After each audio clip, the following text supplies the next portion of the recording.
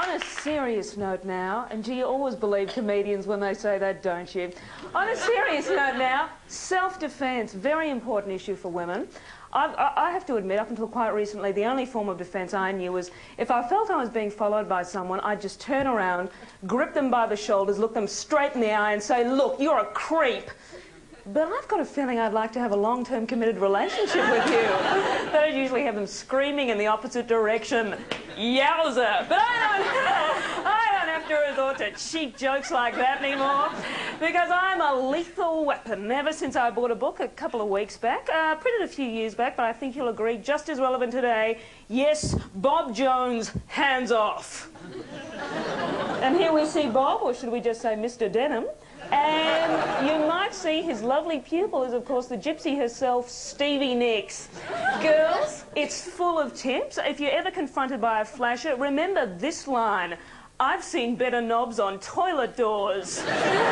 and it's good night from me and it's good night from him. And here's a great photograph and a good bit of advice. Don't let a man who looks like Charles Bronson do a smooth move like this on you. Oops. Is that your left breast in my vice-like grip? That's so natural, it's kind of turning me on. But now, let's just move. Let's stop mucking around. Let's actually meet a woman who learned from the man himself. Very, very exciting moment for The Late Show. Please welcome Stevie Nicks.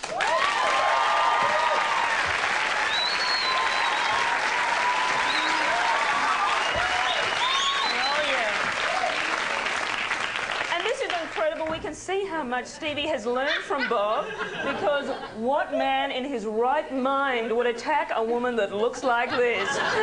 And if you're not put off by the shoes, the shawl, or the roots, we guarantee you'll be put off by this.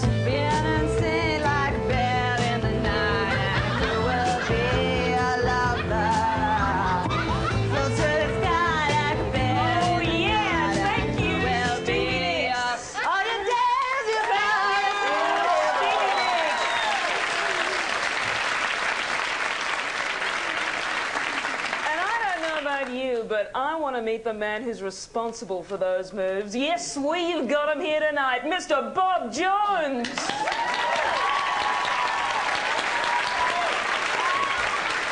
Hands off! Hands off! Yes, Mr. Bob Hands! Jones. Bob, you know Stevie, of course, Stevie Bob. Hands off! This is going to be really relaxing. Bob, you've got a couple of diagrams I think you'd like to go through for us. That's right, Jude.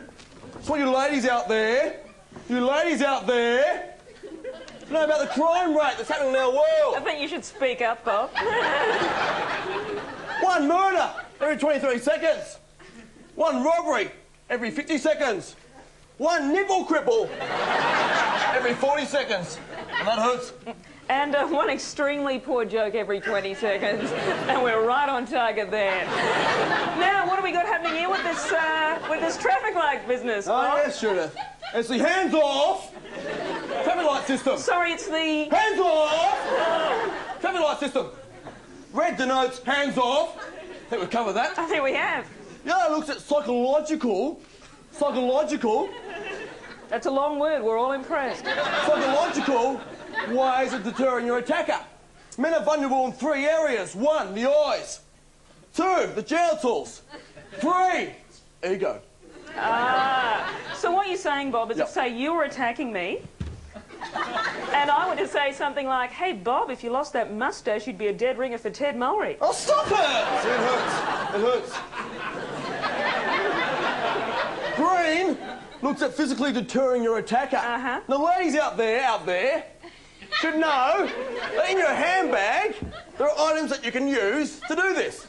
One, hairbrush. Two, car keys. Or three, simply a pencil. Mind you, if you're going to use a pencil, make sure it's the one for the Tony White commercial. It's a big prop, and I'm glad I used it. A big prop for a big man. Now, Hands off! can I try that, actually? Just- Hands off! Bob, just before you go, thanks very much for coming. Thanks, Stevie. Thanks, Stevie. Thanks, Stevie. Hands off. Bob, just a bit of a personal question. Yes? Can I Um, Bob, do you ever turn off? Oh, is there another side to Bob Jones? There definitely is. If you saw me tomorrow, you wouldn't recognise me. If you saw me in the street, I'd be a completely different person. I'd just blend in with the crowd.